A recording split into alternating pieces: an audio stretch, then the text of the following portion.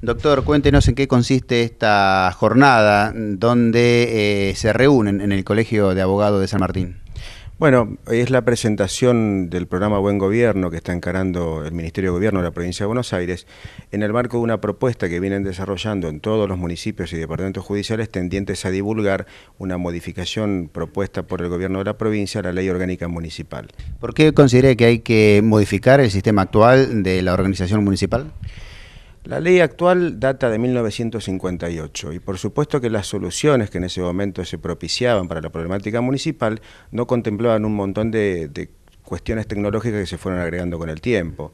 Eh, por ejemplo, no existe la posibilidad de lo que sería la firma digital o el reclamo vía electrónica, situaciones que hoy son absolutamente usuales y que tienen que ser contempladas legislativamente para poder tener una administración que responda rápida y eficazmente a los planteos de la gente. Y hoy la gente está acostumbrada no al papeleo, que es la burocracia que nosotros tradicionalmente tenemos en los municipios, sino más volcadas de lo que sería la comunicación electrónica. Y una de las principales cuestiones que trata esto es precisamente la posibilidad de poder gestionar y trabajar con el vecino, pero conectados tecnológicamente. Hay diferencia en algunos municipios en la provincia, me imagino, algunos que sí ya tomaron eh, como punta de danza la, eh, la modernización.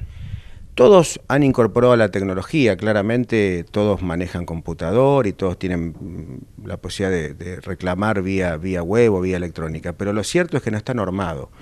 La idea de esto es tratar de unificar ciertos criterios y que uno pueda tener la certeza de que el reclamo ha sido efectivamente presentado, porque la verdad es que uno no tiene hoy la certeza de que su reclamo sea efectuado. Si uno va y se hace sellar el papel, tiene esa constancia documentada y así está normado